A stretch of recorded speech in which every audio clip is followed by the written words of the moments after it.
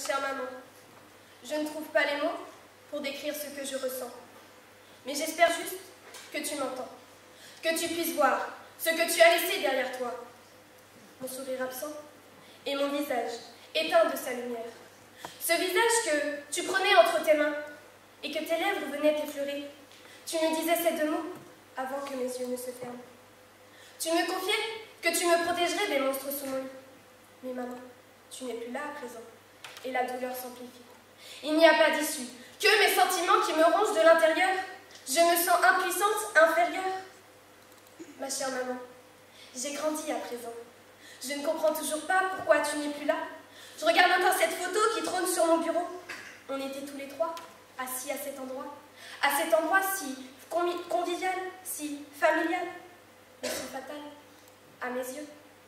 J'entends encore ton rire résonner dans la pièce, mais tout ce mémorial me remplit de tristesse.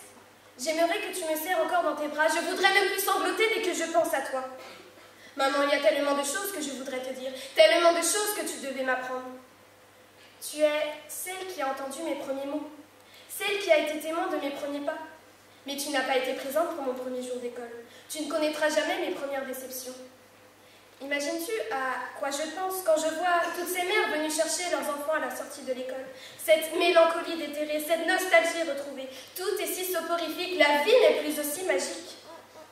On m'a dit que tu étais partie rejoindre les anges, mais pour moi, tu en étais déjà un. Hier, papa m'a offert un chaton, pensant me consoler. Un chaton Comment peut-il penser que cet animal pourra remplacer celle qui m'a mise au monde? Il pense peut-être que je suis stupide, que je suis trop jeune pour comprendre.